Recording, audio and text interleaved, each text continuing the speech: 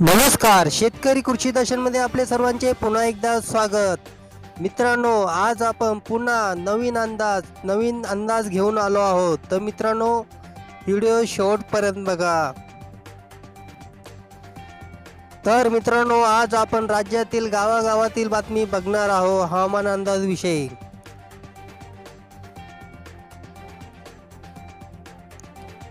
हवामान अंदाजानुसार आजचा हवामान अंदाज असा असणार आहे.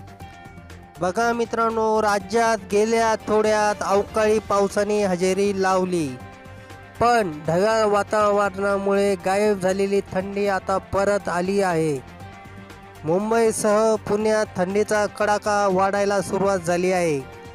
गेल्या आठवड्यात पावसाने चांगलीच हजेरी लावली होती. यामुळे हवेतील गारवा आणखी वाढला आहे. तर ढगाळ वातावरणामुळे थंडीचा जोर कमी झाला होता. मात्र आता पुन्हा शहरात किमान तापमानात हळूहळू घट व्हायला सुरुवात झाली आहे. तर पुढच्या दोन दिवसात थंडीचा पारा आणखीन वाढेल असा अंदाज हवामान खात्याकडून वर्तवण्यात आला आहे.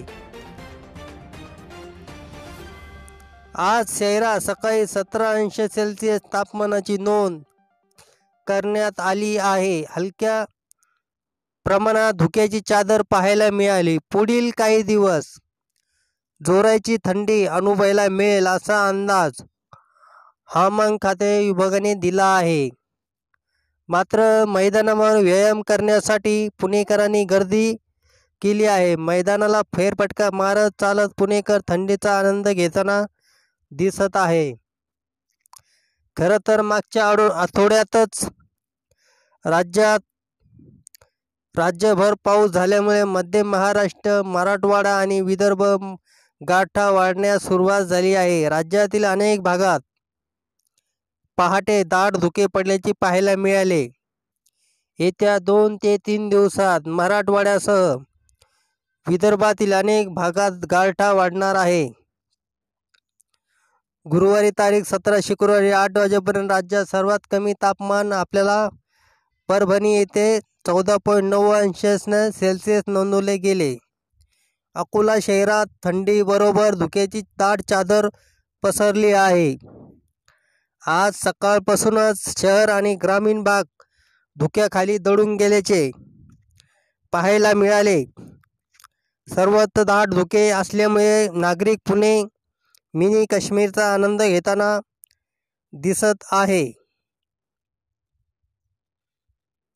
तर मुंबईसह महाराष्ट्र गारटणार. पुणेकरांसाठीही हवामान खात्याचा इशारा.